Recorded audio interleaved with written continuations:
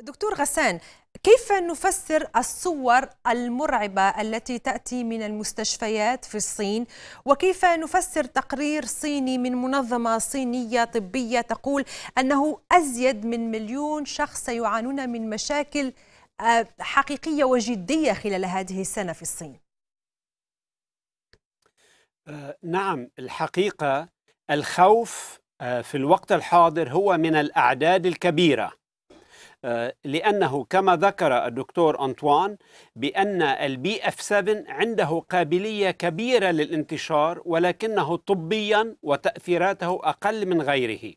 والآن مع فتح الحياة العامة في الصين والسماح للصينيين بالسفر أيضا سوف ينتشر هذا المتحور الفرعي من الأوميكرون سوف ينتشر بشكل كبير وهذا ما نراه في الوقت الحاضر في الصين. فهناك أعداد كبيرة. نسبة الوفيات أو نسبة تأثر المرضى العالية بهذا الفيروس هي قليلة لا بل نادرة. نسبة الوفيات هي أقل من واحد في المئة.